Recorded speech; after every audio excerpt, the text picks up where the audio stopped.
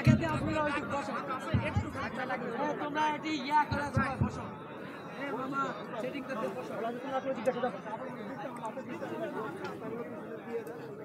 السلام عليكم ورحمة الله وبركاته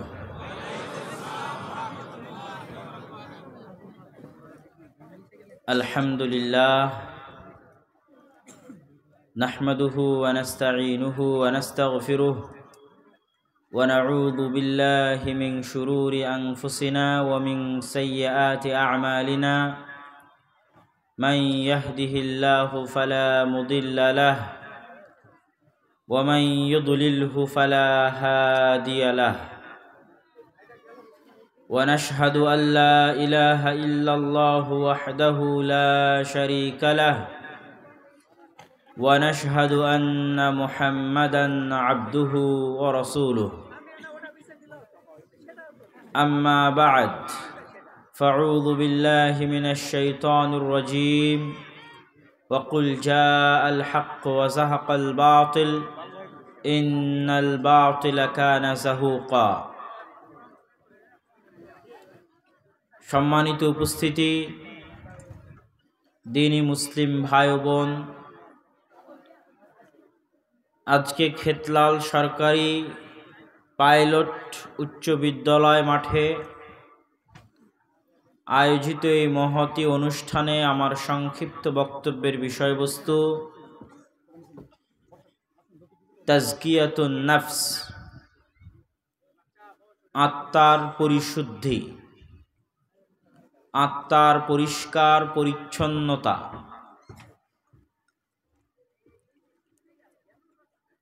আত্মার পরিষ্কার পরিচ্ছন্নতা এবং পরিশুদ্ধি সম্পর্কে এক গুরুত্বপূর্ণ আলোচনা পেশ করার চেষ্টা করব ইনশা আল্লাহুল আজিজ।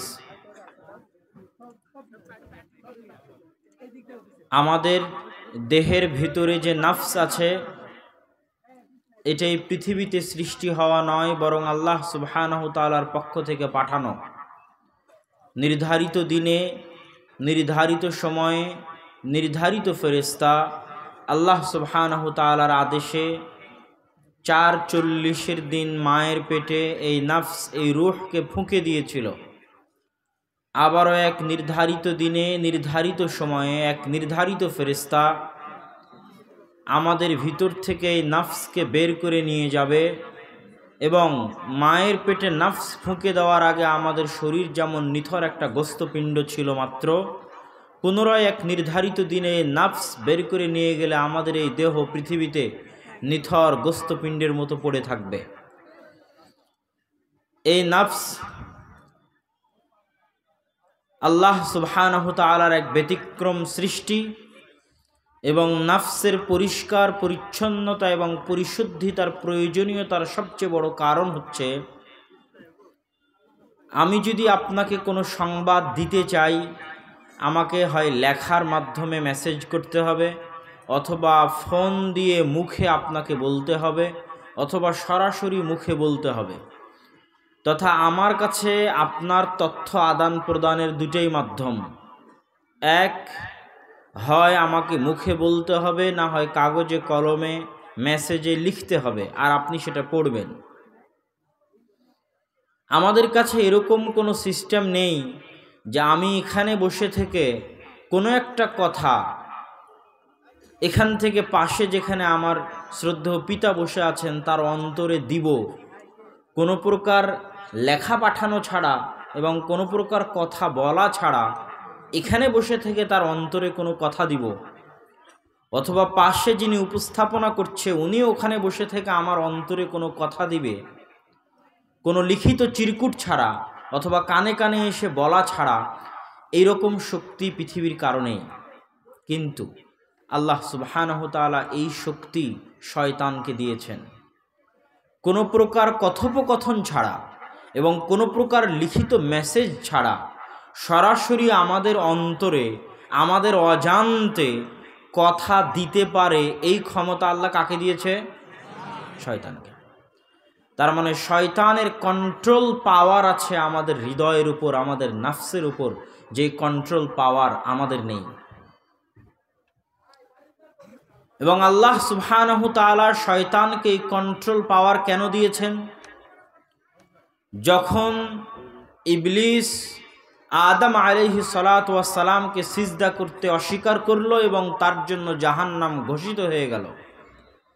তখন ইবলিস আল্লাহর নিকটে সুযোগ চাইলেন যে আমাকে সুযোগ দেওয়া হোক। যে আদম সন্তানকে সিজদা না করার কারণে আজকে আমি জাহান্নামি, ওই আদম সন্তানের হৃদয়ের উপর প্রভাব বিস্তার করার ক্ষমতা দেওয়া হোক, যেন আমি আমার মতো করে, যেন আমি আমার মতো করে প্রত্যেক আদম সন্তানকে জাহান নামে নিয়ে যাওয়ার জন্য চেষ্টা করতে পারি। এই দাবি ইবলিস রাখল আল্লাহর সামনে। আল্লাহ সুবাহানাহ তালা অনুমতি দিলেন, ঠিক আছে, যাও। আদম সন্তানের হৃদয়ের উপর তোমার কন্ট্রোল ক্ষমতা দিলাম। তুমি যদি চাও তোমার মতো করে যান প্রাণ চেষ্টা করে আদম সন্তানের অন্তরে ওয়াসওয়াসা দিয়ে ডাইরেক্টলি কোনো মেসেজ ছাড়া, কোনো কথোপকথন ছাড়া আদম সন্তানের অন্তরে গুনাহের ওয়াসওয়াসা দিয়ে আদম সন্তানকে পথভ্রষ্ট করার ক্ষমতা আমি তোমাকে দিয়ে দিলাম। তবে তোমার চ্যালেঞ্জের বিপরীতে আমারও একটা চ্যালেঞ্জ থাকল। তুমি যেমন চ্যালেঞ্জ নিয়েছো, আমি একাই জাহান নামে যাব না। বরং প্রত্যেক আদম সন্তানকে জাহান নামে নিয়ে যাওয়ার জন্য যান প্রাণ দিয়ে চেষ্টা করব যে আদম সন্তানের জন্য আমি জাহান্নামি, আমি ওই আদম সন্তানকে জাহান্নামে নিয়ে যাবই যাব। এটা যেমন তোমার চ্যালেঞ্জ এবং তুমি যেন এই চ্যালেঞ্জ পূর্ণ করতে পারো, এর জন্য তুমি যে সুযোগ চেয়েছো যে সুবিধা চেয়েছো, এই সুযোগ সুবিধাও তোমাকে দিয়ে দিলাম। তবে তার বিপরীতে আমারও একটা চ্যালেঞ্জ থাকল।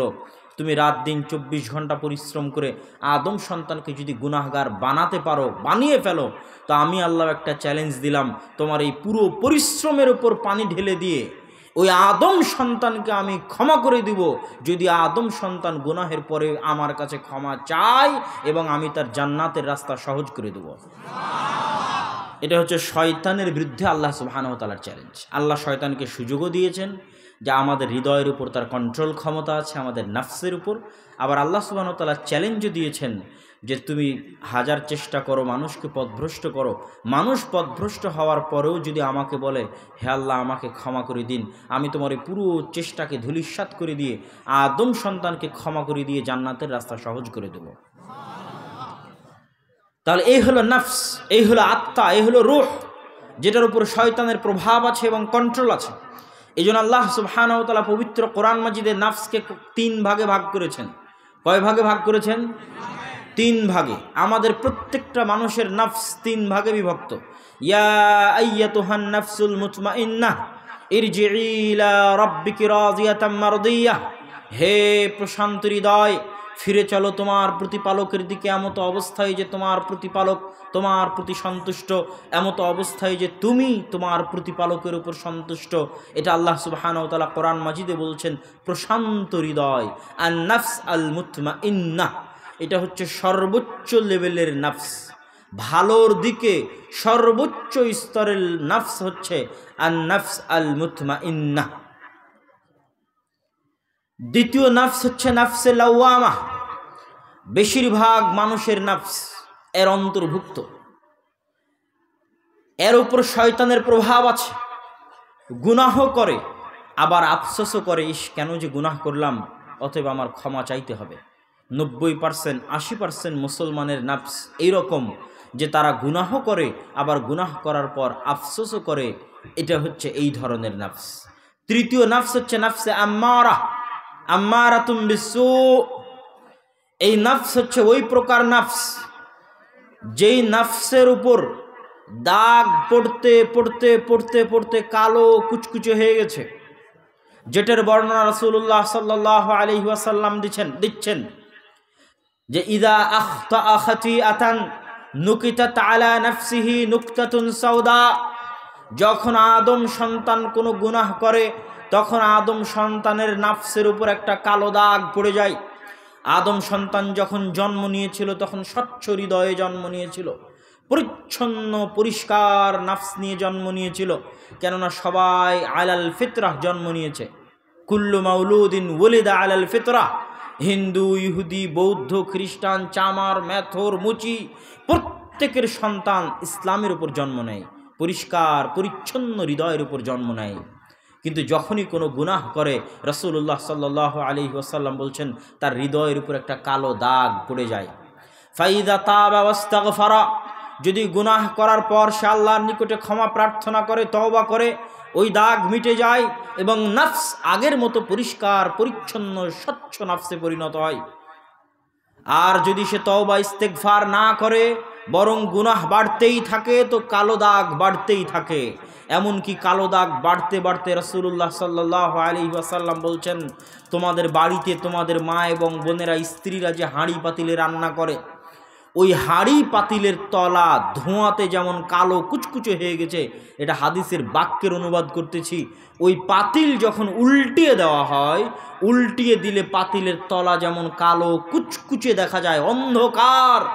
মানুষের হৃদয় গুনাহ করতে করতে করতে করতে উল্টানো পাতিলের তলায় লেগে থাকা অন্ধকারাচ্ছন্ন কালো কুচকুচে, ঘুটঘুটে অন্ধকারাচ্ছন্ন কালো কুচকুচে হয়ে যায়, যেটাকে আল্লাহ সুবহানাহু পবিত্র কোরআন মাজিদে কখনো বলেছেন, কাল্লা বলরানা আলা কুলুবিহিম এদের অন্তরে মোহর মারা হয়ে গেছে। কখনো বলেছেন খাতাম আল্লাহ আলা কুলুবিহিম এদের অন্তরে আল্লাহ সুবহানাহু তাআলা মোহর মেরে দিয়েছেন। কখনো বলেছেন তামাল তামাল কুলুব তাদের অন্তরগুলো অন্ধ হয়ে গেছে। কখনো বলেছেন, বেলা আলা কুলুবিহিম আকফালুন তাদের অন্তরে তালাবদ্ধ আছে। এগুলো সব আল্লাহ পবিত্র কোরআনে ব্যবহার করেছে। কখনো বলেছেন, অন্তরে মোহর মারা আছে কখনো বলেছেন, অন্তর অন্ধ হয়ে গেছে কখনো বলেছেন, অন্তরে তালাবদ্ধ আছে এই বাক্যগুলো আল্লাহ সুবাহানতালা পবিত্র কোরআন মাজিদে ব্যবহার করেছেন। এগুলো ওই সমস্ত অন্তরের জন্য, ওই সমস্ত হৃদয়ের জন্য, ওই সমস্ত নাফসের জন্য, যেগুলো গুনাহ করতে করতে, কালো দাগ, পড়তে পড়তে পড়তে পড়তে এই কালো পাতিলের মতো হয়ে গেছে, উল্টানো কালো পাতিলের মতো হয়ে গেছে। এই সমস্ত নাফসের ক্ষেত্রে আমরা দোয়া করি, রব্বানা জালামনা আনফুসানা ওয়া ইল্লাম তাগফির লানা ওয়া তারহামনা লানাকুনান্না মিনাল খাসিরিন। হে আল্লাহ, আমি আমার নাফসের উপর অত্যাচার করেছি। আমরা বলি না যে, হে আল্লাহ, আমি গুনাহ করেছি। ওই বাক্যের অর্থ আমি গুনাহ করেছি, এটা নয়। বরং ওই বাক্যের অর্থ হচ্ছে, হে আল্লাহ, আমি আমার নাফসের উপর অত্যাচার করেছি, জুলুম করেছি। আর প্রত্যেকটা অত্যাচার একটা অন্ধকার। আর প্রত্যেক অন্ধকারই কালো, ওই যে কালো দাগ, অন্ধকার ওটি অত্যাচার। এই জন্য আমরা দোয়াই বলি আল্লাহ মাইনি জালাম তো নাফসি, হে আল্লাহ, আমি আমার আত্মার উপর, আমার রুহের উপর অত্যাচার করেছি। কিন্তু আমরা বুঝতে পারি না যে আসলে আমরা অত্যাচার কখন করলাম আমাদের নাফসের উপর। এটা বুঝতে পারি না এই জন্য যে বুঝার মতো সময় আমাদের নেই। যখন ঘুমাচ্ছি, তখনও মোবাইল। যখন ঘুম থেকে উঠছি, তখনও মোবাইল। যখন দুনিয়াতে বন্ধু বান্ধবের সাথে গল্প করছি, তখনও দুনিয়া। যখন বাড়িতে গল্প করছি, তখনও দুনিয়া। চব্বিশটা ঘণ্টা আমার হৃদয়কে শয়তান এত ব্যতি ব্যস্ত রেখেছে যে আমি একটা সেকেন্ড সময় নিজেকে দিব, একটা সেকেন্ড সময় নিরিবিলি ভাবব আমার জীবন মৃত্যু এবং পরকালের কথা। এটা আমার পক্ষে যেহেতু সম্ভব হয় না, সেহেতু আমি বুঝেও উঠতে পারি না যে আমার হৃদয়ের উপর আমি জুলুম এবং অত্যাচার করেছি। কিন্তু যদি আমাদের পক্ষে এরকম সময় বের করা সম্ভব হতো যে আমরা সামান্য সময় রাতের অন্ধকারে উঠে নিজের আত্মাকে দিতাম, নিজের নাফসকে দিতাম একা একই বন্ধু বান্ধবের সাথে নয়, মোবাইলের সাথে নয়, একা একে নিজের নাফসকে নিয়ে চিন্তা করতাম, নিজের আমল নিয়ে, জীবন মৃত্যু নিয়ে চিন্তা করতাম, তখন আমার চোখ দিয়ে যে পানি বের হতো, ওই পানি প্রমাণ করত যে আমি আমার আত্মার ওপর অত্যাচার করেছি। তবে একটা সময় মানুষ এটা ধরা পড়ে। যখন হতাশাগ্রস্ত হয় বিপর্যস্ত হয়, বাধাগ্রস্ত হয়, অসুস্থ হয়, দুনিয়াতে বাঁচার কোনো রাস্তা থাকে না, তখন সে একটা সময় বুঝে ফেলে যে সে তার আত্মার উপর অত্যাচার করেছে, বাধ্যগত অবস্থায় বুঝে ফেলে, যেমন ফেরাউন বুঝেছিল যখন পানিতে ডুবছিল, ফেরাউন যখন পানিতে ডুবছিল তখন তার হাত বাঁধা ছিল না, তখন তার পা বাঁধা ছিল না, তখন মুসা সাল্লাতাম তাকে হাত পা বেঁধে জবাই করেনি, তখন মুসা আলাহ সাল্লাম তাকে তীর চালিয়ে দূর থেকে হত্যা করেনি, ফেরাউন পরিপূর্ণ স্বাধীন, হাত পা খোলা আছে সব কিছু আছে, সেনাবাহিনী আছে, তারপরেও সে পানির থেকে নিজেকে উদ্ধার করতে পারতেছে না। এরকম যখন ষোলো আনা অসহায়ত্ব তার চোখের সামনে পড়ল, তখনও বুঝলো যে সে তার নাফসের উপর অত্যাচার করেছে এবং তখন সে বলছে, আমান্তু রব্বে মুসা হারুন। সম্মানিত উপস্থিতি।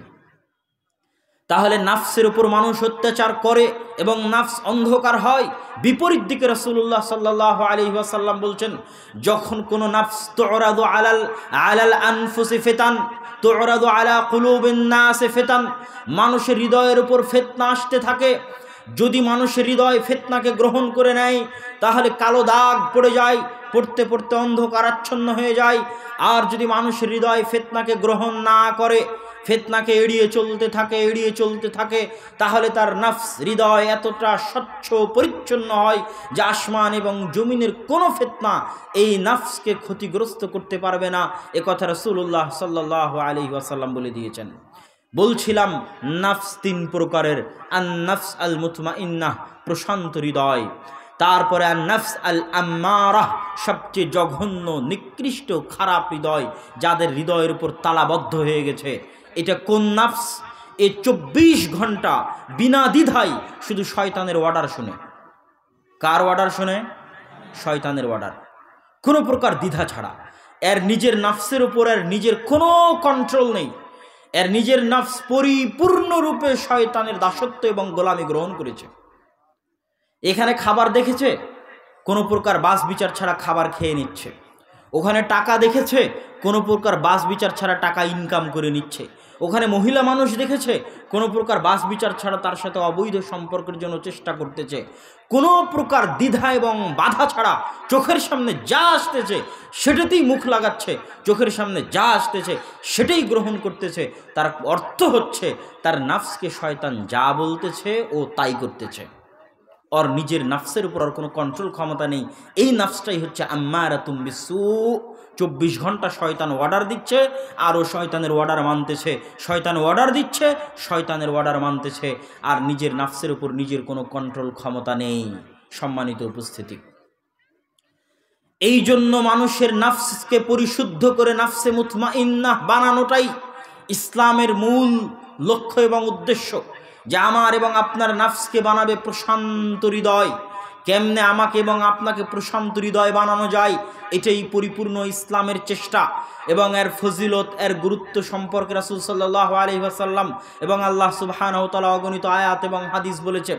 যেমন, আল্লাহ সুবহানাহু পবিত্র কোরআন মাজিদে বলছেন কাদাফলাহামাং তাজাক্কা ওই ব্যক্তি সাকসেসফুল ওই ব্যক্তি সফল কাম, যে তার নিজের নাফসকে পরিশুদ্ধ করল, যে তার নিজের নাফসকে পরিষ্কার, পরিচ্ছন্ন করল।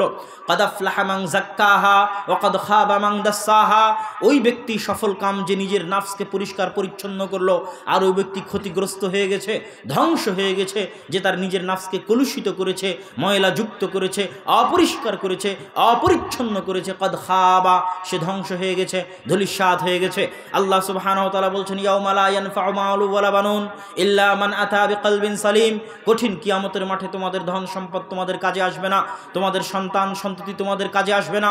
ইল্লা মান সালিম, তবে পরিষ্কার হৃদয় নিয়ে পরিচ্ছন্ন হৃদয় নিয়ে, স্বচ্ছ হৃদয় নিয়ে, প্রশান্ত হৃদয় নিয়ে কিয়ামতের মাঠে যে উপস্থিত হবে, পরিষ্কার নাফস নিয়ে, পরিচ্ছন্ন নাফস নিয়ে, প্রশান্ত নাফস নিয়ে, নাফসে মুতমা ইন্না নিয়ে, কালব সালিম নিয়ে কিয়ামতের মাঠে যে উপস্থিত হবে, সে একমাত্র নাজাত পাবে, মুক্তি পাবে। রসুল সাল্লাহ আলি ওয়াসাল্লাম বলছেন, আলা ইন্নাফিল জাসাদে মুদগাতুন।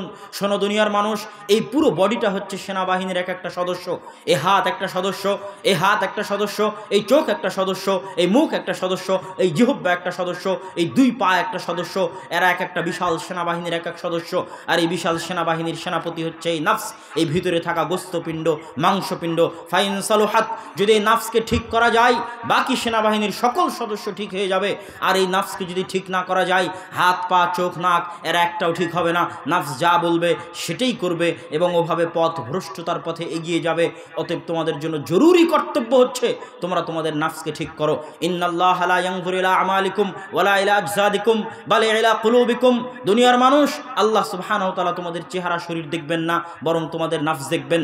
রাসূল সাল্লাল্লাহু আলাইহি ওয়াসাল্লাম আরও বলেছেন, দুনিয়ার মানুষ, আত্তাকওয়া হা হুনা, আত্তাকওয়া হা হুনা, আত্তাকওয়া হা হুনা। তোমাদের তাকওয়া তোমাদের বাহ্যিক লেবাসে নেই, তোমাদের তাকওয়া তোমাদের বাহ্যিক পোশাক আশাকে নেই, তোমাদের তাকওয়া তোমাদের বাহ্যিক ইবাদতে নেই, তোমাদের তাকওয়া হা হুনা, এখানে এই হৃদয়ের মধ্যে, আত্তাকওয়া হা হুনা, তোমাদের তাকওয়া এই হৃদয়ের মধ্যে, এই নাফসের মধ্যে, অতএব এই নাফস যদি পরিশুদ্ধ হয় এই নাফস যদি পরিষ্কার, পরিচ্ছন্ন হয়, তাহলে তোমরা জান্নাতে যেতে পারবে। আর এই নাফস যদি পরিষ্কার, পরিচ্ছন্ন, বিশুদ্ধ না হয়, বাহ্যিক আমল যতই ভালো হোক না কেন, মানুষের পক্ষে জান্নাতে যাওয়া সম্ভব নয়। সম্মানিত উপস্থিতি, একের পর এক আপনাদের সামনে পেশ করতে থাকলাম আল্লাহ সুবহানাহু তাআলা এবং তার রাসূল। এই নাফসকে পরিষ্কার, পরিচ্ছন্ন করার জন্য কত গুরুত্ব দিয়েছেন, কত কঠিন এবং কত কঠোর কথা বলেছেন, কত গুরুত্ব আরোপ করেছেন। অতএব আমাদের জন্য এটাই সবচেয়ে বড় জিম্মেদারি যে আমরা আমাদের নাফসকে নাফসকে রক্ষা করব, আমরা আমাদের নাফসকে হেফাজত করব, বাঁচাবো, পরিষ্কার করব, পরিচ্ছন্ন করব, স্বচ্ছ করব। শয়তানের কবল থেকে, শয়তানের কন্ট্রোল থেকে আমাদের এই নাফসকে বের করে নিয়ে আসতে হবে। এখন আমাদের সকলের হৃদয় শয়তানের কন্ট্রোলে আছে, কম বেশি। কম বেশি সকলের হৃদয়ের উপর শয়তানের প্রভাব বিরাজ করছে। আর এই ক্ষমতা আল্লাহ শয়তানকে দিয়েছে। অসংখ্য আয়াত এবং অসংখ্য দলিল আছে। সুরা নাস আপনারা পড়েন, কুলা আউযু বিরাব্বিন নাস, মালিকিন নাস, ইলাহিন নাস, মিন শাররিল ওয়াসওয়াসিল খান্নাস, আল্লাযী ইউওয়াসওয়িসু ফি সুদুরিন নাস। ওই শয়তান থেকে পরিত্রাণ চাই, যেই শয়তান মানুষ হৃদয়ে ওয়াসওয়াসা দিতে পারে। রাসূল সাল্লাল্লাহু আলাইহি ওয়াসাল্লাম বলেন মা মিন মাউলুদিন ইল্লা শয়তান। এমন কোন আদম সন্তান জন্মগ্রহণ করেনি, যার গায়ে শয়তান স্পর্শ করেনি। হাত্তা ইস্তাহিল্লা সারেখা। শয়তানের স্পর্শে চিৎকার করে কেঁদে ওঠে। ইল্লা মারিয়াম ইবনু ঈসা। তবে মারিয়াম এবং তার সন্তান ঈসা আলাইহিস সালামের গায়ে শয়তান স্পর্শ করেনি। তাছাড়া পৃথিবীর সকল নবী রাসূল থেকে শুরু করে সকল উলিয়া উলিয়া পরহেজগার ব্যক্তির জন্মের পর শয়তান তাদের গায়ে স্পর্শ করেছে। শয়তানের সাথে আমাদের সম্পর্ক চিরন্তন। এমন কোনো আদম সন্তান নেই যে আদম সন্তানের দুইটা বন্ধু আছে। করিন উম্মিনাল মালাইকা ও করিন উম্মিনা শয়তান একটা শয়তান বন্ধু, একটা ফেরিস্তা বন্ধু। শয়তান বন্ধু চব্বিশ ঘণ্টা এই নাফসের মধ্যে ওয়াসওয়াসা দিচ্ছে। রাসূল সাল্লাহ আলী আসাল্লাম আরও স্পষ্ট করে বলেছেন, যখন তোমাদের কেউ ফজরের সালাদ থেকে ঘুম থেকে উঠতে চাই সালাতের জন্য, তখন শয়তান বলে, নাম নাম ইন্নাল্লাহ তাবিল, ঘুমাও ঘুমাও, রাত এখনও অনেক লম্বা আছে, তুমি ঘুমিয়ে থাকো।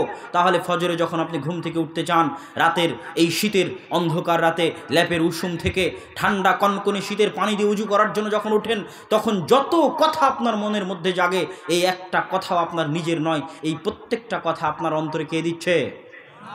কে দিচ্ছে? শয়তান। কে দিচ্ছে? শয়তান। এই শয়তানের অস্তিত্বে আপনার হৃদয়ের উপর শয়তানের যে কন্ট্রোল ক্ষমতা আছে, এই অস্তিত্বে আপনি যত বেশি পরিমাণে বিশ্বাস করবেন, আপনার জন্য হেদায়তের রাস্তা তত সহজ হবে। এই জন্য রাসুল সাসলাম এবং আল্লাহ সুবহানাহু তাআলা এই নাফসের উপর সবচেয়ে বেশি জোর দিয়েছেন। কেননা এই নাফসের উপর কন্ট্রোল ক্ষমতা আছে শয়তানের। এই জন্য নাফসকে আগে বিশুদ্ধ করতে হবে, প্রশিক্ষিত করতে হবে শয়তানের কবল থেকে বাঁচানোর জন্য। সম্মানিত উপস্থিতি। শয়তানের কবল থেকে আমরা আমাদের নাফসকে কীভাবে বাঁচাবো? আমরা আমাদের নাফসকে কীভাবে পরিশুদ্ধ করব। কি কি করলে আমাদের এই নাফস পরিশুদ্ধ হতে পারে, বিশুদ্ধ হতে পারে? এক, তাওহীদ। প্রত্যেকটা নাফসের সবচেয়ে বড় রোগ হচ্ছে, সবচেয়ে বড় অসুস্থতা হচ্ছে এই নাফস ভীত সন্ত্রস্ত। ইন্নাল ইনসান আখলে কাহালু আ ভীত সন্ত্রস্ত। টাকার কাছে ভীত, ক্ষমতার কাছে ভীত, পাওয়ারের কাছে ভীত অনেক কিছুর কাছে ভীত এবং এই নাফসের সবচেয়ে বড় সমস্যা হচ্ছে দাসত্ব পছন্দ করে, গোলামি পছন্দ করে। কারও না কারও গোলামি এবং দাসত্ব পছন্দ করে। হয় টাকার গোলামি দাসত্ব করছে, না হয় নারীর দাসত্ব গোলামি করছে, না হয় ফেসবুক ইউটিউব টুইটারের দাসত্ব গোলামি করছে, না হয় ভিডিও গেমের দাসত্ব গোলামি করছে। যদি ভিডিও গেমে একবার ঢুকে বের না হতে পারে, এটা একটা দাসত্ব। যে দুই তিন ঘন্টাও বের হতে পারতেছে না, যে বিড়ি সিগারেট খায়, ছাড়তে পারে না নেশা, এটা এক প্রকার দাসত্ব। যে জুয়া খেলে, ছাড়তে পারে না নেশা, এটা এক প্রকার দাসত্ব। ওর অন্তর ওটার সাথে লেগে গেছে, ওইটার দাস হয়ে গেছে অন্তর। বিড়ি সিগারেট ছাড়া অন্তর চলছে না মানে হৃদয় ওই বিড়ি সিগারেটের সাথে কানেক্টেড হয়ে গেছে এমনভাবে যে এটা আবার দাস এবং গোলামে পরিণত হয়ে গেছে। ওই ভিডিও গেম ছাড়াও থাকতে পারছে না, আত্মহত্যা করবে কেন? ওর এই নাফস ওই ভিডিও গেমের গোলাম হয়ে গেছে, ওইটা ছাড়া টিকতে পারবে না। এই নাফসের মধ্যে জন্মগত সবচেয়ে খারাপ স্বভাব হচ্ছে দাসত্ব। যে কোনো কিছুর দাসত্ব করে বসতে পারে, শয়তানের দাসত্ব করে। এমনকি পৃথিবীতে এমন মানুষ আছে, যারা জেনে বুঝে শয়তানের দাসত্ব করে। আমরা যারা এখানে উপস্থিত আছে, আমরা নিজেদের অজান্তে শয়তানের দাসত্ব করি, শয়তানের গোলামি করি। কিন্তু পৃথিবীর এমনও মানুষ আছে, যারা জেনে বুঝে শয়তানের গোলামি করে। কিছুদিন আগে একটা উৎসব গেল, হ্যালোইন উৎসব। যেখানে ভূতের মতো আকৃতি চেহারার সামনে লাগিয়ে ইউরোপ, আমেরিকা থেকে শুরু করে ভারত, বাংলাদেশ, পাকিস্তান, এমনকি সৌদি আরবের মতো দেশে পর্যন্ত হ্যালোইন উৎসব হয়েছে। এই হ্যালোইন উৎসবটা মূলত ইচ্ছা করে শয়তানের ইবাদত করা। তাব্বুদুশৈতান আমরা যেমন ইচ্ছা করে আল্লাহর ইবাদত করি, এই হ্যালোইন উৎসবটা হচ্ছে জেনে বুঝে কাকে খুশি করা, কাকে খুশি করা, শয়তানকে। জেনে বুঝে শয়তানকে খুশি করা। এরকম পৃথিবীতে অসংখ্য মানুষ আছে যারা ইচ্ছাকৃত শয়তানকে খুশি করে। এবং শয়তানের সাথে মানুষের যোগাযোগ হতে পারে, শয়তানের সাথে মানুষের কথোপকথন হতে পারে। আবু হরাজিয়াল্লাহ তালা আনহুর সাথে যদি শয়তানের কথোপকথন হয়, আল্লাহ রসুলের যুগে সাদাকার মাল, পাহারা দিতে গিয়ে তিন তিন দিন শয়তানের সাথে কথা বলেছেন। আবদুল্লাহ বিন মাসুদ রাজিয়াল্লাহ তালা আনহু বলছেন, অপরিচিত মানুষ তোমাদের সামনে মিথ্যা হাদিস বর্ণনা করে চলে যাবে। বর্ণনা করে চলে যাওয়ার পর তোমরা বলবে, উমুক উমুক, দেখতে একজনে হাদিস বলেছিল, কিন্তু বাস্তবে ওই মানুষকে খুঁজে পাবে না। জেনে রাখো, শয়তান রাসুল সাল্লাহ সাল্লামের হাদিস যে অপরিচিত মানুষ শয়তান অপরিচিত মানুষের রূপ ধারণ করে হাদিস বর্ণনা করে চলে যাবে, তোমরা বুঝতে পারবে না। এই জন্য আমি বলি যে আজকের ইউটিউবে যদি মানুষের চেহারাবিহীন কোনো অডিও পাওয়া যায়, তো ওই অডিও শয়তানও দিতে পারে, এতে কোনো সন্দেহ নেই। দিতে পারে শয়তান অডিও। এবং পৃথিবীতে যারা ইচ্ছাকৃত শয়তানের দাসত্ব করতেছে, তাদের সাথে শয়তানের যোগাযোগ এবং সম্পর্ক হতে পারে। কিন্তু আমরা যারা শয়তানের দাসত্ব এবং গোলামি করতেছি, তারা বেশিরভাগ না জেনে শয়তানের দাসত্ব করতেছি।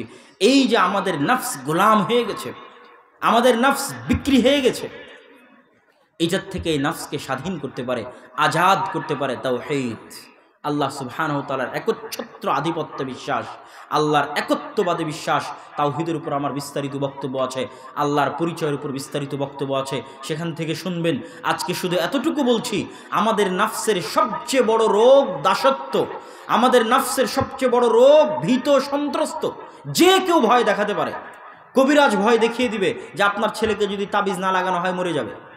ভয়, ডারকা বিজনেস অমুক বলে দিবে যে পীরের যদি আনুগত্য না করো, ওই কবরে যদি সিজদা না করো, ওই অলি আউলিয়ার কাছে যদি না যাও, হেন্দ্রা বলবে অমুক দেবীর যদি পূজা না করো, উপরওয়ালা খুশি হবে না ভয় ইন্নাল ইনসান আখলে কাহালুয়া এই তুমি যদি দাড়ি রাখো, তোমার চাকরি বাদ, আর চাকরি বাদ হলে তুমি খাবা কি? ভয়, রিজিকের ভয়। এই তুমি যদি সন্তান সন্ততি নাও, কি দিয়ে খাওয়াবা, কি দিয়ে পড়াবা? ভয়, রিজিকের ভয়, টাকা পয়সার ভয়। প্রত্যেক ধাপে ধাপে আদম সন্তানের এই নাফসের সবচেয়ে বড় অসুস্থতা যেটা শয়তান সবচেয়ে বেশি ব্যবহার করে, সেটা হচ্ছে ডার, ভয়, খফ, ভয় দেখাও। কত কীর ভয় দেখিয়ে আপনাকে কত রকমের গুনাহে লিপ্ত করাবে, তার সকল কৌশল শয়তানের জানা আছে। এই সকল ভয় থেকে ঊর্ধ্বে উঠতে পারে নাফস, যখন নাফসের মধ্যে তাও হেদ প্রবেশ করে, অতএব তাও হেদ সম্পর্কে আপনাদের জানতে হবে। বিস্তারিত অন্য বক্তব্য থেকে তাও হেদ সম্পর্কে জেনে নেবেন। দুই, আপনার নাফস এবং আমার নাফস আজকে যে শয়তানের দাসত্ব এবং গোলামি করতেছে, কলুষিত, অপরিষ্কার, অপরিচ্ছন্ন হয়ে গেছে এই নাফসকে যদি তার কলুষতা, তার অপরিষ্কার, অপরিচ্ছন্ন থেকে বাঁচাতে চায়, এই নাফসকে অলস বসে থাকতে দেওয়া যাবে না। এই নাফসকে কাজ দিতে হবে, কাজ করাতে হবে। আমাদের প্রত্যেকের নাফস অলস বসে থাকে দেখে গুনাহ করে। অলস নাফসকে গুনাহ করানো শয়তানের পক্ষে খুবই খুবই সহজ। এই জন্য নাফসকে কাজ দিতে হবে। আর সেই কাজের সবচেয়ে বড় কাজ হচ্ছে, ইন্না সালাত তানহা আনিল ফাহশাই ওয়াল মুনকার। সালাত। রাসূল সাল্লাল্লাহু আলাইহি ওয়াসাল্লাম বলছেন, কেউ যদি টানা চল্লিশ দিন পাঁচ অক্ত সালাত তাকবীরে তাহরিমার সাথে আদায় করে, তার নাফসকে জাহান্নামের আগুন থেকে এবং মুনাফি থেকে মুক্ত ঘোষণা করে দেওয়া হলো। তার নাফসকে। এখন এক ওক্ত সালাত মসজিদে জামাতের সাথে আদায় করা একটা তৃতীয় বিশ্বযুদ্ধ শয়তানের বিরুদ্ধে। একটা তৃতীয় বিশ্বযুদ্ধ, এক অক্ত সালাদ জামাতে মসজিদে আদায় করা।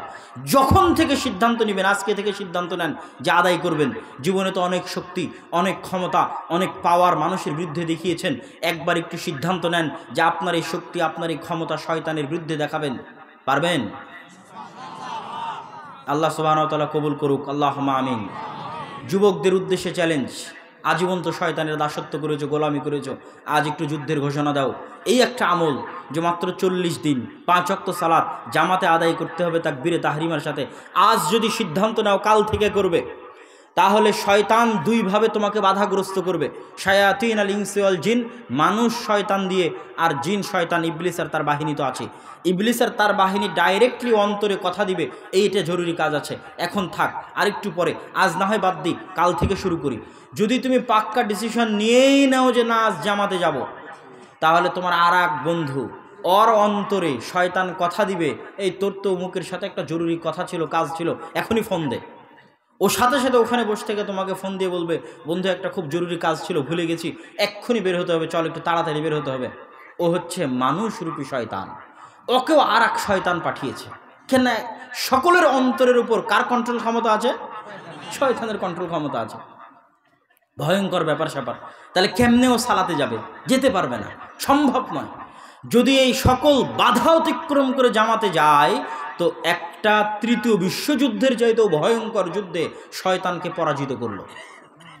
আর যদি চল্লিশ দিন পাঁচ অক্ত সালাত সমান দুইশো অক্ত সালাতের টানা বিরতিহীনভাবে লাগাতার একটার পর একটা, একটার পর একটা যুদ্ধে যদি শয়তানকে পরাজিত করে, টানা লাগাতার বিরতিহীনভাবে দুইশোটা ভয়ঙ্কর তৃতীয় বিশ্বযুদ্ধের চাইতেও যুদ্ধ যদি মানুষের অন্তর শয়তানকে পরাজিত করতে পারে, তাহলে মানুষের অন্তর শয়তানের কন্ট্রোল থেকে বের হয়ে গেছে। আল্লাহ আকবার। অন্তর শয়তানের কন্ট্রোল থেকে বের হয়ে গেছে চল্লিশ দিন। পাঁচ অক্ত সালাদ জামাতে। এখন এই হৃদয়ের উপর আপনার কন্ট্রোল ওই আগের মতো হবে না এটা খা, এটা কর, অমুককে কল দে, অমুকের সাথে সম্পর্ক কর। এখানে ইনকাম আছে, হারাম ইনকাম আছে।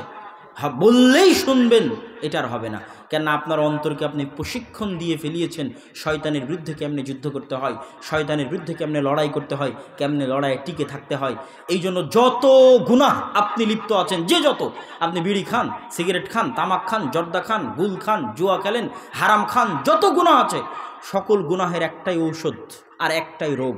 সকল গুনাহের একটাই রোগ যে আপনার অন্তরের ওপর শয়তানের কন্ট্রোল ক্ষমতা আছে, তাই গুনাহ থেকে বের হতে পারছেন না। কি দিয়ে বের হবেন? সালাদ দিয়ে বের হওয়া সম্ভব। চল্লিশ দিন পাঁচ অক্ত সালাদ জামাতে আদায় করলে অন্তর শয়তানের বিরুদ্ধে যুদ্ধ করা শিখবে। তখন আস্তে আস্তে এই অন্তরের উপর শয়তানের প্রভাব কমবে। যত গুনাহে আপনি লিপ্ত থাকেন না কেন, প্রত্যেকটা গুনাহ থেকে বের হওয়া সম্ভব। যদি আপনি সালাতের মাধ্যমে এই হৃদয়কে প্রশিক্ষিত করেন শয়তানের বিরুদ্ধে যুদ্ধ করার জন্য, এই জন্য আল্লাহ বলছেন, ইন্না সালাত তানহা আনিল ফাহশাই ওয়াল মুনকার। তথা সালাত মানুষকে খারাপ কাজ থেকে বিরত থাকতে বাধা দেয়। কীভাবে? এইভাবে। সালাতের মাধ্যমে হৃদয় প্রশিক্ষিত হয়, শয়তানের বিরুদ্ধে যুদ্ধের জন্য শক্তিশালী হয়। তখন সকল গুনাহ করা অতটা সহজ হয় না, কঠিন হয়ে যায়। চিন্তা ভাবনা করে শয়তান বলল, আর আপনি শুনলেন? এরকম তখন হয় না। আপনি তখন চিন্তা ভাবনা করবেন, এটা করা আমার ঠিক কিনা? কেননা তখন হালকা হলেও আপনার হৃদয়ের উপর নিজের কন্ট্রোল ক্ষমতা আছে। আর যতক্ষণ সালাত আদায় করেননি, অন্তত চল্লিশ দিন, টানা পাঁচ অক্ত সালাত মসজিদে আদায় করেননি, ততক্ষণ আপনার হৃদয়ের উপর আপনার কোনো কন্ট্রোল ক্ষমতা নেই। সম্মানিত উপস্থিতি। এই জন্য ইসলামের যত হুকুম হাকাম আছে, প্রত্যেকটা হুকুম হাকাম শয়তানের বিরুদ্ধে প্রয়োগ করা হয়েছে। আমি কিছুক্ষণ পর আপনাদের দেখাবো, তার আগে তৃতীয় উপায়ে চলে যাই। শয়তানের কন্ট্রোল থেকে নিজের নাফসকে বের করার তৃতীয় উপায়। এই তৃতীয় উপায় বলতে গিয়ে ইবনুল কাইম রাহেমাহুল্লাহ বলছেন, মানুষের হৃদয়কে কন্ট্রোল করার জন্য, ধ্বংস করার জন্য জাহান নামে নিয়ে যাওয়ার জন্য এই গোটা বডির মধ্যে তিনটে ভয়ঙ্কর অস্ত্র আছে শয়তানের। তিনটে ভয়ঙ্কর, ভয়ঙ্করতম অস্ত্র আছে। যে অস্ত্র দিয়ে শয়তান হামলা করে মানুষের হৃদয়ের উপর। হামলা শব্দ ব্যবহার করেছেন ইবনুল কাইয়িম অস্ত্র শব্দ ব্যবহার করেছেন ইবনুল কাইয়িম যে তিনটা ভয়ঙ্কর অস্ত্র আছে আমাদের এই বডির মধ্যে, যেই তিনটা ভয়ঙ্কর অস্ত্র দিয়ে শয়তান আমাদের নাফসের উপর আক্রমণ করে। এক সবচেয়ে ভয়ঙ্কর অস্ত্র, সবচেয়ে খাতারনাক অস্ত্র, সবচেয়ে ভয়াবহ অস্ত্র, যেই অস্ত্র দিয়ে এক ক্লিকে মানুষকে সবচেয়ে সহজ উপায়ে জাহান নামে নিয়ে যাওয়া যায়। এক সেকেন্ডে চোখের পলকে জাহান নাম একদম চোখের পলক পড়া মাত্র জাহান নাম শয়তান খালি ক্লিক করবে জাহান নামে চলে যাবে। মানুষ বুঝতেও পারবে না জাহান নামে চলে গেছে। এত সিম্পল, এত সহজভাবে আর কোনো ভয়ঙ্কর অস্ত্র এই বডিতে নাই যে অস্ত্র দিয়ে শয়তান মানুষকে চোখের পলকে একটা সিম্পল ক্লিকে জাহান নামে নিয়ে যেতে পারে। সে অস্ত্রটা হচ্ছে জিহুব্বা। সেটা কি বলেন তো? ইবনুল কাইম রাহিমাল্লাহ বলছেন, এই ভয়ঙ্কর অস্ত্র হচ্ছে জিহুব্বা। শয়তান বলছে ওকে গালি দে। গালি দিয়ে দিচ্ছে। বলছে, আর গিবত কর। সেকেন্ডে গিবত করে ফেলতেছে। এক গিবতে জাহান্নাম। কথা মনে হয় আমার বুঝতে পারেননি। বলছে আর ওকে অপবাদ দে। এক অপবাদে জাহান্নাম। এক সেকেন্ড লাগল মাত্র বলতে। বলা মাত্র জাহান্নাম। মুখ দিয়ে প্রত্যেক যা কথা বের হচ্ছে সেই কথার হিসাব কিয়ামতের মাঠে হবে। এখন কোন কথার কারণে যে আপনি জাহান্নামে চলে যাবেন নিজেও জানেন না। তাহলে শয়তানের সবচেয়ে সহজ আর মজার উপায় মানুষকে জাহান্নামে নিয়ে যাওয়ার জন্য মানুষ বুঝতেই পারবে না কখনো জাহান্নামে চলে গেছে। শয়তান বলা মাত্র বাস্তবায়ন করবে সেটা হচ্ছে এহ, জিহুব্বা এই ইবনুল কাইম রাহেমাহুল্লাহ জিহুব্বার কথা বলতে গিয়ে রসুল সাল্লামের অসংখ্য হাদিস পেশ করেছেন, যা আপনাদের জানা। শ্রদ্ধ শেখ আব্দুল রাজাক বিন বক্তব্য আপনারা বহুদিন শুনেছেন যে মানুষ জাহান নামে সবচেয়ে বেশি নিক্ষিপ্ত হবে আলা আল সেনাতিহিম জিহুব্বার ওপর ভর করে টেনে ছেঁচে জাহান নামে নিয়ে যাওয়া হবে। সবচেয়ে বেশি। এত সহজে। শয়তান যদি বলে, এই জেনা কর। শয়তানের অর্ডার নাফসের কাছে। জেনা করা এত সহজ নয়। প্ল্যান লাগে, পরিকল্পনা লাগে। সমাজ ব্যবস্থা কঠিন হলে, স্বামী, স্ত্রী, পরিবারের মান সম্মান থাকলে অত সহজ হয় না। শয়তান বলে, আরে, ওকে হত্যা কর। ওকে হত্যা করতে প্ল্যান, পরিকল্পনা, প্রবলেম সব কিছু করে হত্যা করতে পারবে কিনা জানে না? তাহলে প্রত্যেকটা গুনাহ শয়তানের জন্য করানো কত সহজ? শয়তান বলে, আরে, ওকে গালি দে। আর বলা মাত্রই গালি দিয়ে দিল। আরে, ওর গিবত কর। বলা মাত্রই গিবত করল। আর, ওকে অপবাদ দে। বলা মাত্রই অপবাদ দিয়ে দিল। তাহলে শয়তানের সবচেয়ে সহজে কাবুতে নিয়ে আসতে পারে মানুষের নফসকে আর চোখের পলকে ফাট করে মানুষকে কল্পনার জগতে নিয়ে গিয়ে জাহান নামে এক সেকেন্ডে, সেটা হচ্ছে জিহব্বা ইবনুল কাইম বলছেন, শয়তানের কবল থেকে যদি মানুষ তার নফসকে বাঁচাতে চায়, তাহলে আগে মুখ বন্ধ রাখতে হবে। খুললে কোনটা বললে যে জাহান নাম কে জানে? অতএব শয়তান থেকে যদি বাঁচতে চাও, তো মুখ কী করো? মুখ কী করো? বন্ধ করো। আর যদি জিহব্বা খোলে, এটা ভয়ঙ্কর অস্ত্র। এটা খুব ভয়ঙ্কর। যদি খোলে তাহলে যেন এটা বলে খোলে, আল্লাহ আকবর সুবহান আল্লাহ আলহামদুলিল্লাহ, লা ইলাহা ইল্লাল্লাহ। রসুল সাল্লাহ আলী ওয়াসাল্লাম বলেছেন, পৃথিবীর সবচেয়ে দামি সম্পদ এই অস্ত্র দিয়ে যেমন জাহান্নামের চাবি ফাট করে খুলে যাবে, ঠিক এই অস্ত্র দিয়ে জান্নাতে যাওয়া সহজ। লিসানুন জাকের যেই জিহব্বা ক্ষণে ক্ষণে আল্লাহকে স্মরণ করে। আল্লাহ আকবর। তাহলে এই অস্ত্রটা যেমন শয়তানের জন্য সবচেয়ে কাজের, ঠিক এই অস্ত্রটা আমার এবং আপনার জন্য সবচেয়ে কাজের কি করতে হবে? আগে মুখ বন্ধ। বাপরে বাপ, কোনটা যে শয়তান বলিয়ে নেয়? আর কোনটা বলে যে এক সেকেন্ডে জাহান নামে নিয়ে চলে যাবে? আল্লাহ ভালো জানে। অতএব কন্ট্রোল ক্ষমতা মানুষের সবচেয়ে দুর্বল কন্ট্রোল ক্ষমতা আছে তার জিহব্বার উপর। এই জন্য আগে জিহব্বার উপর কন্ট্রোল ক্ষমতা প্রতিষ্ঠা করো মানুষ। শয়তান সবচেয়ে বেশি মানুষকে জাহান নামে নিয়ে যায়, এটা দিয়ে। অতএব এটার উপর আগে কন্ট্রোল ক্ষমতা প্রতিষ্ঠা করো, বন্ধ করে দাও। শয়তানকে অচল করে দাও। শয়তানের এই অস্ত্রকে ভোতা করে দাও। মুখ খোলার দরকার নাই। খুললেই সুবহান আল্লাহ আলহামদুলিল্লাহ লাহ আল্লাহ আকবর। এবার ইবনুল কাইম রাহেমহল্লা বলছেন, এই একে তো জিহুব্বা বন্ধ করে দিলাম কেননা জিহুব্বা শয়তানের সবচেয়ে বড় অস্ত্র। দুই, এই জিহুব্বাকে এবার বিপরীতভাবে কাজে লাগাতে হবে। সেটা হচ্ছে লিসানুন আল্লাহর স্মরণ। ধাপে ধাপে আল্লাহর স্মরণ। পদক্ষেপে পদক্ষেপে আল্লাহর স্মরণ। এবার ধাপে ধাপে আল্লাহর স্মরণের বর্ণনা স্বয়ং রাসুল সাল্লাহ আলী আসাল্লাম ইসলামে দিয়েছে আইনে রসুল দোয়া অধ্যায় বই যদি আপনাদের বাসায় থাকে, না থাকলে আজকে যদি কিনেন, কিনা সম্ভব না হলে আপনাদের মোবাইলে দোয়া অধ্যায় অ্যাপস, আইনে রসুল দোয়া অধ্যায় প্লে স্টোরে গিয়ে দোয়া অধ্যায় অ্যাপস যদি ইনস্টল করেন, সেখানে আইনে রসুল দোয়া অধ্যায় বইয়ে যত দোয়া দেওয়া আছে বা কোরআন এবং হাদিসে যত দোয়া আছে, প্রত্যেকটা দোয়া শয়তানের বিরুদ্ধে। কার বিরুদ্ধে? শয়তানের বিরুদ্ধে।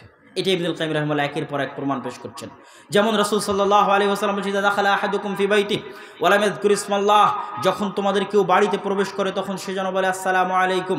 আসসালামু আলাইকুম। যদি বলে, শয়তান বলবে, লা মাবি তালাকুম আলা আশা আলাকুম এই তোমাদের এই বাড়িতে থাকার জায়গা নেই, খাওয়ার জায়গা নেই, পালাও।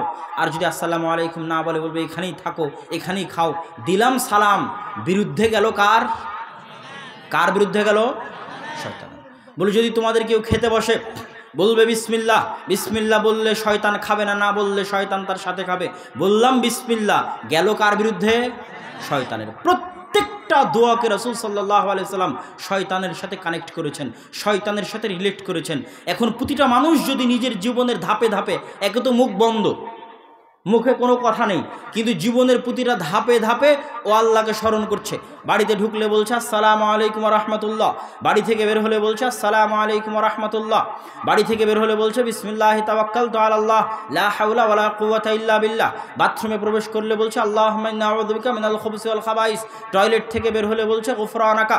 গাড়িতে উঠলে বলছে, সুবহানাল্লাযী সাখখারা লানা হাযা ওয়া মা কুন্না লাহু মুকরিনিন ওয়া ইন্না ইলা রাব্বিনা লামুনকালিবুন। এইভাবে প্রতিটা ধাপে ধাপেও দোয়ার ব্যবহার করতেছে। তাহলে ওই ব্যক্তির গোটা শরীরের বাইরে শয়তানের বিরুদ্ধে এমন শক্তিশালী বর্ম, এমন শক্তিশালী বুদ্ধ এবং দুর্গ তৈরি হয় যে পৃথিবীর কোনো শয়তানি শক্তি, অনেকগুলো শয়তানি শক্তি আছে, জাদু শয়তানি শক্তি, টোনা শয়তানি শক্তি, বদনজর শয়তানি শক্তি, শয়তানের ওয়াসওয়াসা শয়তানি শক্তি, পৃথিবীর কোনো শয়তানি শক্তি, কোনো জাদু, কোনো টোনা, কোনো বদনজর, কোনো কুদৃষ্টি, কোনো শয়তানের ওয়াসওয়াসা, কোনো কিছু এই বুদ্ধই দুর্গ ভেদ করে মানুষের শরীরে প্রবেশ করতে পারবে না। এই প্রত্যেকটা দোয়া হচ্ছে এরকম বিশাল অস্ত্র। দলিল আরও দলিল পাবেন। রাসুল সাল্লাহ আলী হাসাল্লাম বলছেন, কেউ যদি রাতে ঘুমানোর সময় আয়াতুল কুরসি পাঠ করে, তাহলে তার পাশে একটা ফেরিস্তা নিযুক্ত করা হয়। সকাল পর্যন্ত যেন শয়তান তার কোনো ক্ষতি না করতে পারে। আল্লাহ আকবার। তাহলে এই যে প্রতিটা দোয়া একটা দুর্গ তৈরি করে দিচ্ছে শরীরের বাইরে। এবং বড় বড় জাদুকররাও তাদের বক্তব্যের মধ্যে স্বীকার করেছেন, যেহেতু জাদু সত্য তারা স্বীকার করেছেন যে যখন তারা জাদু করেন এবং ওই জাদু যদি কোনো পাঁচ অক্ত সালাত আদায়কারী এবং সব সময় জেসান জাকের জিকির করে এইরকম লেসান জিহব্বাওয়ালা মানুষের বিরুদ্ধে যদি জাদু হয়, তাহলে বাইরে এমন একটা অবয়ব দেখা যায়, এমন একটা অদৃশ্য কিছু থাকে যে জাদু তার পর্যন্ত পৌঁছতে পারে না, তার পর্যন্ত কাজ করতে পারে না, তার পর্যন্ত আক্রমণ করতে পারে না, এইভাবে কোনো বদনজর কোনো কিছুই কাজ করতে পারবে না। কেননা ইসলামের প্রতিটা দোয়া এইভাবে শয়তানের বিরুদ্ধে সাজানো আছে। যখন ছোট বাচ্চাকে কোলে নিচ্ছেন তখন কি বলতে হবে? আউদুবি কালিমাতিল্লাহি তাম্মা মিনকুল্লে শয়তান ওয়াহাম্মা ও মিনকুল্লে আইনিন লাম্মা। অন্য আলতু ফালতু কথা বাদ দিয়ে, আদর যত্নের অসংখ্য কথা বাদ দিয়ে আগে দোয়া পড়তে হবে। এটার মাধ্যমে আপনার ছোট বাচ্চাকে আপনি শয়তানের কবল থেকে পরিত্রাণ চাচ্ছেন। নাস ফালাকে খেলাস শয়তানের কবল থেকে পরিত্রাণ চাচ্ছেন। আয়াতুল কুরসি, সুরা ফাতেহা, সুরা বাকারার শেষ দুই আয়াত, শয়তানের কবল থেকে পরিত্রাণ চাচ্ছেন। সম্মানিত উপস্থিতি, এই সকল আলোচনার সারমর্ম হচ্ছে যে শয়তানের সবচেয়ে ভয়ঙ্কর অস্ত্র জিহব্বা। জিহব্বা বন্ধ শয়তানকে অচল করে দিলাম। এবার জিহব্বা কাজে লাগিয়ে জান্নাতের দরজা খুলবো। লিসানুন জাকের, জিহব্বাকে আল্লাহর কথা স্মরণকারী করতে হবে প্রতি ধাপে ধাপে প্রতি পদক্ষেপে। সম্মানিত উপস্থিতি, বক্তব্যের শেষের দিকে, মানুষের হৃদয়ের আরও ভয়ঙ্কর অসুস্থতা আছে এবং ভয়ঙ্কর রোগ আছে। সেই ভয়ঙ্কর অসুস্থতা এবং রোগগুলো হচ্ছে লোভ লালসা অহংকার, হিংসা বিদ্বেষ, রাগ।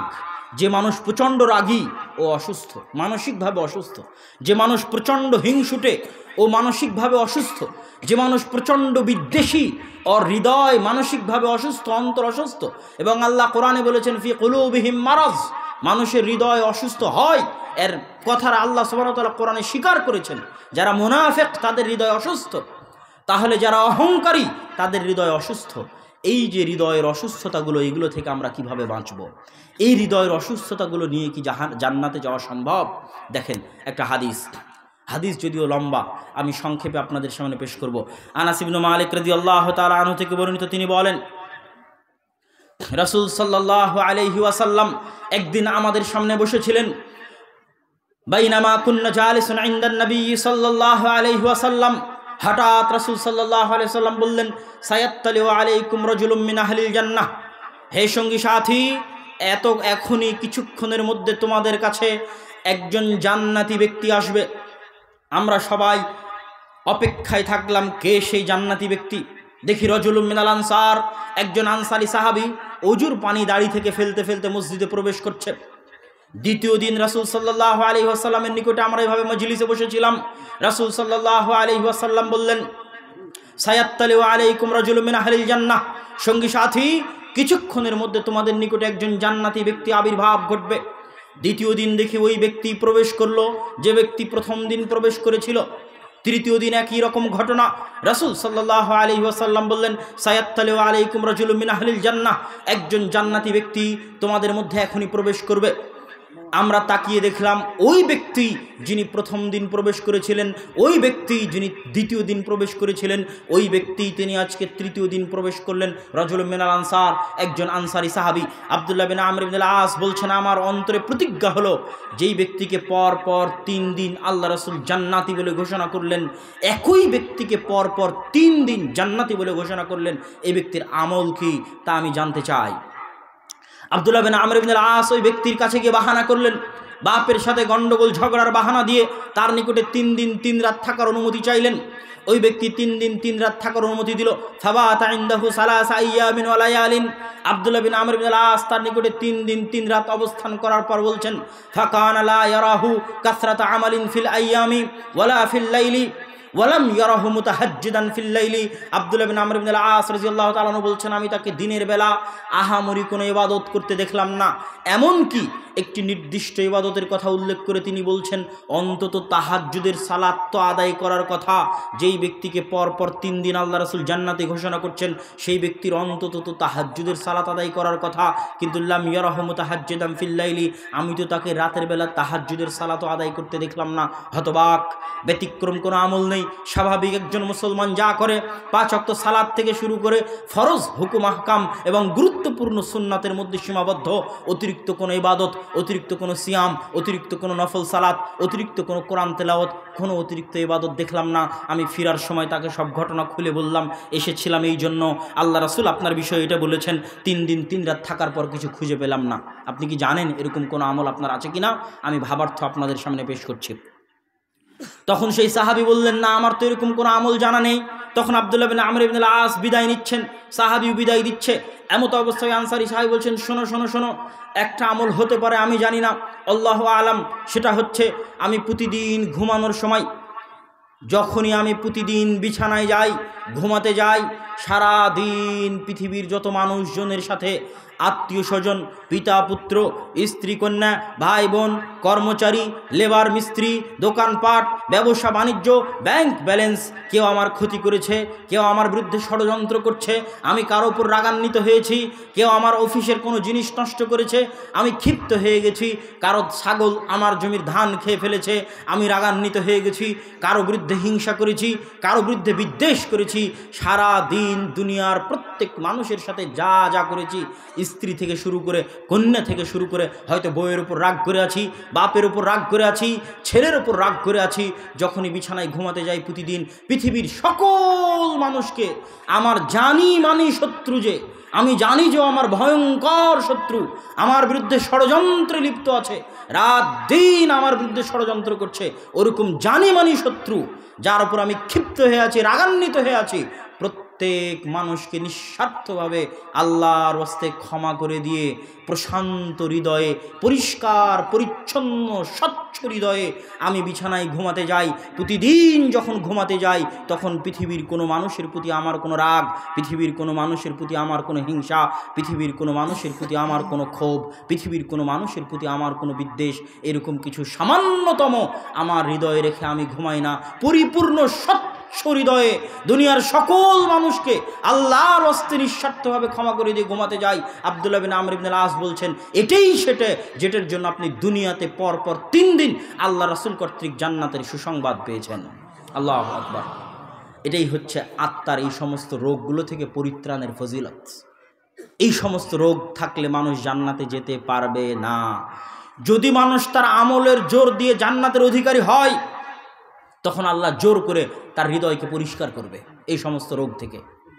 আমাদের নবী মোহাম্মদ সাল্লাহ আলহিহাসাল্লামের হৃদয়কে কেটে, সিনা চাক করে, জমজমের পানি দিয়ে পরিষ্কার, পরিচ্ছন্ন করে ধুয়ে ওই হৃদয়কে আবার ওখানে প্রবেশ করিয়ে সিলাই করে দেওয়া হয়েছিল। সেই দাগ আল্লাহ রাসুলের জীবদ্দশায় দেখা যেত, যেন তার হৃদয় এই সমস্ত সকল পৃথিবীর রোগ থেকে, পৃথিবীর সকল কলুষতা থেকে মুক্ত হয়, পরিচ্ছন্ন হয়। মানুষ যখন পুলসিরাত পার হবে, রাসুল সাল্লাহ আলি ওয়াসাল্লাম বলছেন ইহবাসুন আইন্দাল কান্তারা। যখন মোমেনেরা পুলসিরাত পার হবে নিজের আমলের গতিতে, তখন কান্তারার সামনে তাদের আটকে দেওয়া হবে। এই মোমিনেরা, তোমরা সবাই পুলসিরাত পার হয়ে জান্নাতের হকদার হয়েছো, তোমরা থামো। যারা জান্নাতের হকদার হয়নি, তারা তো পুলসিরাত থেকে পড়ে গেছে। তোমরা জান্নাতের হকদার হয়েছো, কিন্তু জান্নাতে ঢুকতে পারবে না। থামো। কেন জান্নাতে ঢুকতে পারবে না? কানাত দুনিয়া।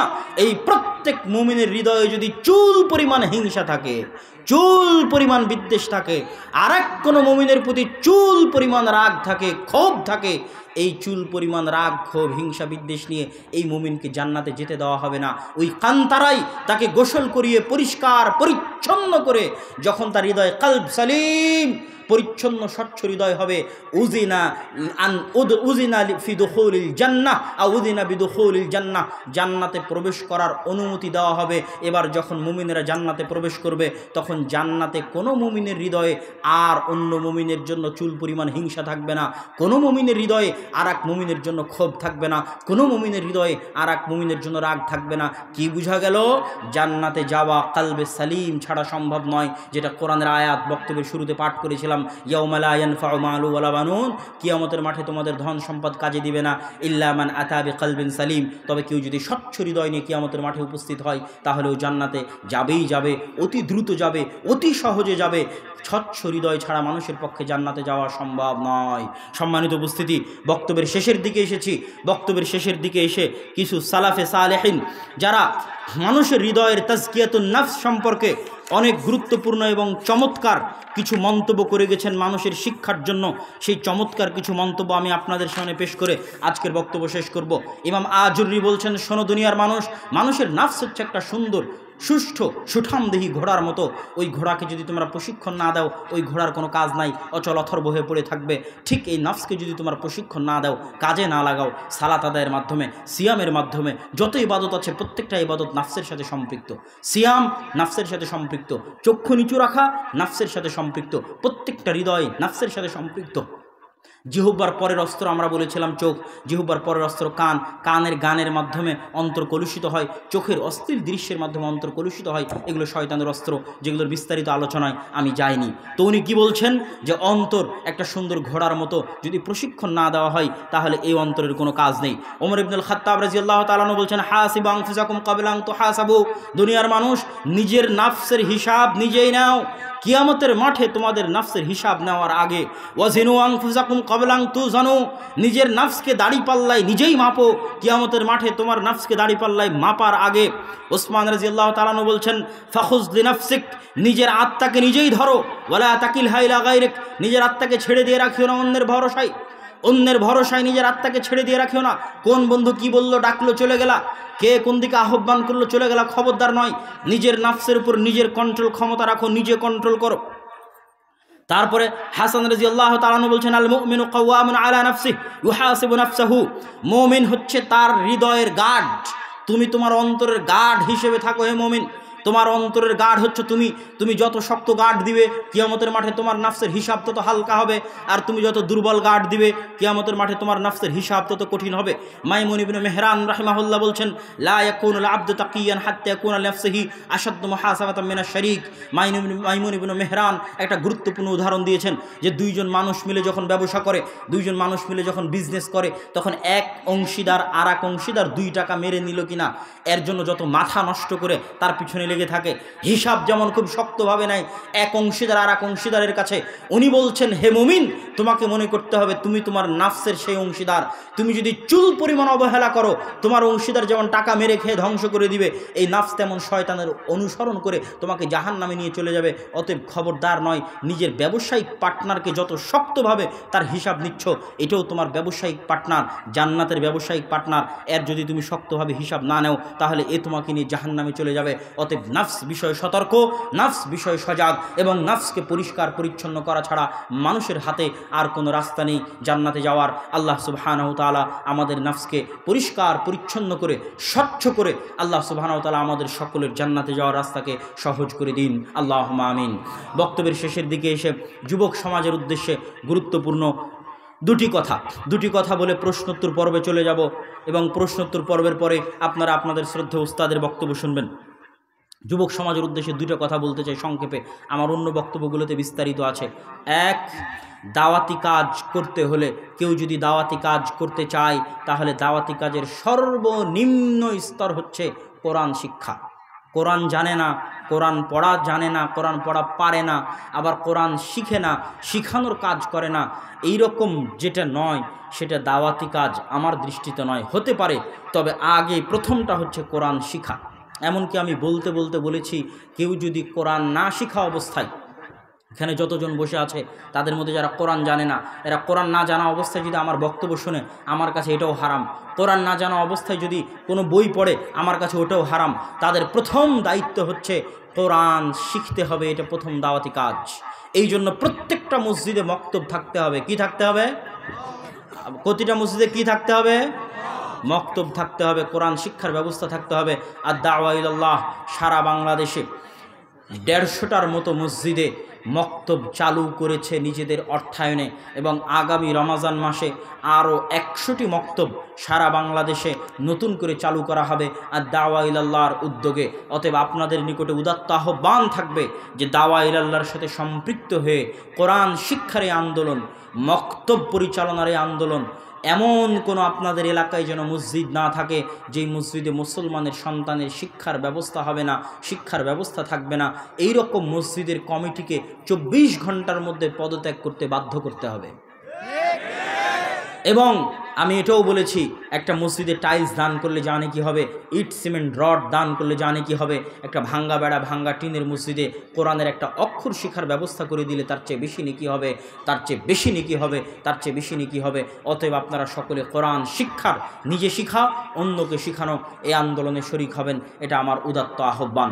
এই উদাত্ত আহ্বান জানিয়ে আমি আমার বক্তব্য এখানেই শেষ করছি এবং আগামী তেসরা ফেব্রুয়ারি দিনাজপুর আল জামিয়া সালাফিয়া। আপনাদের এখান থেকে কত দূর হবে জানি না।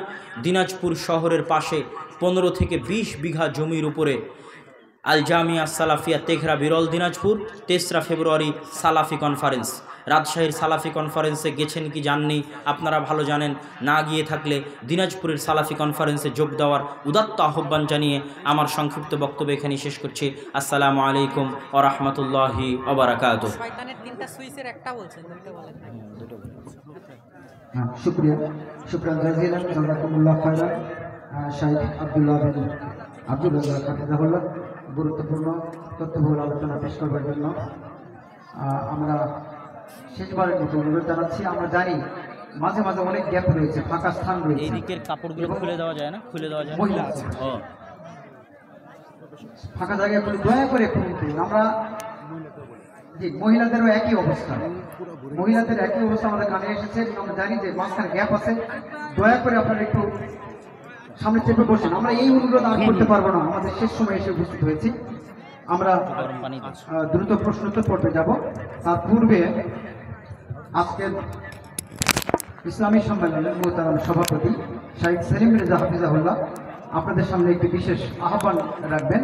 আশা করি আপনারা সেই আহ্বানে সাড়া দিয়ে কাজ করবেন ইনশাআল্লাহ। তারপরে আমরা দ্রুত প্রশ্নোত্তর পর্বে চলে যাচ্ছি।